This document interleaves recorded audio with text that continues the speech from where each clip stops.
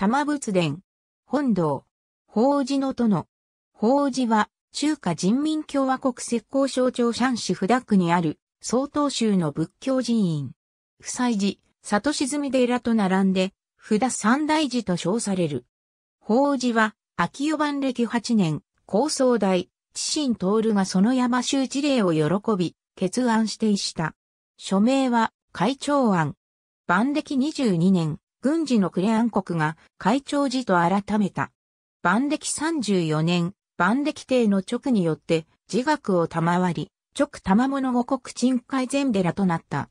清代後期28年には寺院を重修した。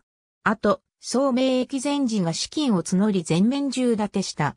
後期32年に法事の円通殿が建立されると、その2年後に太遊殿も建立された。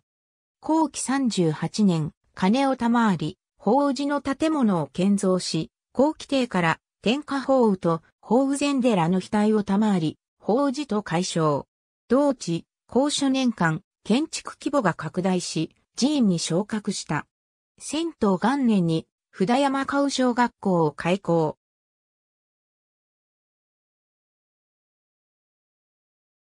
1966年、毛沢東が文化大革命を発動し、仏像、放棄は徹底的な破壊に遭い、僧侶は仕方なく減続した。1983年に大規模な再建によって、廃業楼と旧流殿が再建されており、同年、中華人民共和国国務院は仏寺を、漢族地区仏教全国重点寺院に認定した。1987年、旧流壁と設計道が修築されている。1995年、石碑坊一座を増築した。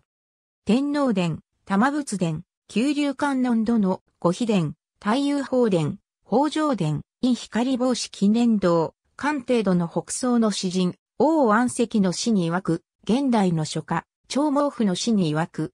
ありがとうございます。